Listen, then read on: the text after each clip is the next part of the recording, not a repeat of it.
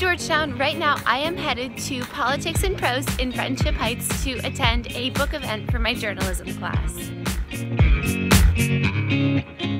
Today at Politics and Prose, I'm listening to author Erica Armstrong Dunbar talk about her new book, Never Caught The Washington's Relentless Pursuit of Their Runaway Slave, Ona Judge. I head to the cafe first to get a snack, and then I head upstairs to wait for the event to start.